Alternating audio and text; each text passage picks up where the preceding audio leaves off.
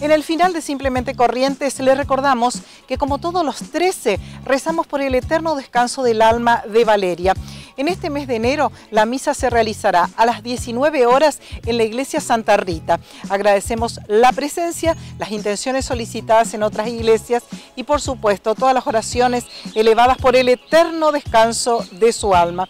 Final final de Simplemente Corrientes, de este anuario de Simplemente Corrientes que esperamos hayan disfrutado este capítulo 1. En el próximo programa, si Dios lo permite, volvemos con el capítulo 2.